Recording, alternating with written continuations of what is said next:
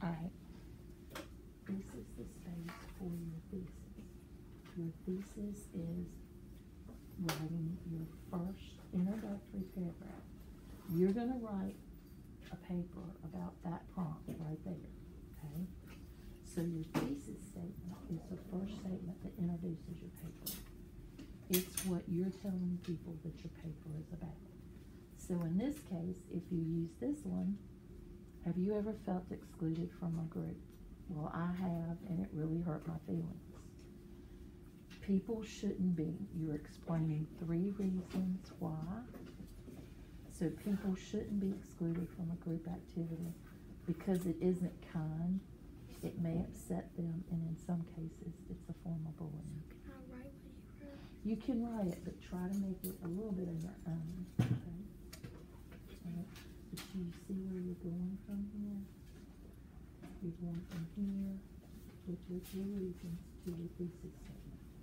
And your thesis stat, guys, one of the things about your thesis statement, your thesis statement should always have what your body paragraphs are about. So in this case, your body paragraph is going to be about you're going to have one about not kind. It's not kind to leave your friends out when other friends because you know they're going to go back and tell. It will hurt their feelings and upset them.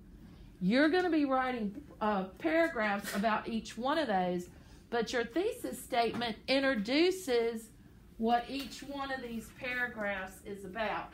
And that's what I always had the hardest struggle with. Your thesis statement is your introduction to your paper that tells everybody else what your paper is going to be about.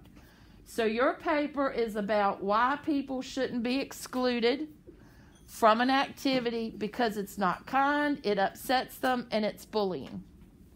So, then you take the three things here and you make a paragraph and you explain in each paragraph why it's not kind, why it's a form of bullying, how it upsets the person. Does that make sense now? And this is what makes it easy to write your paper because once you get that thesis down here, all you have to do is expand on it and then write your conclusion. Now, is that better or worse or what? Thumbs up if it's better.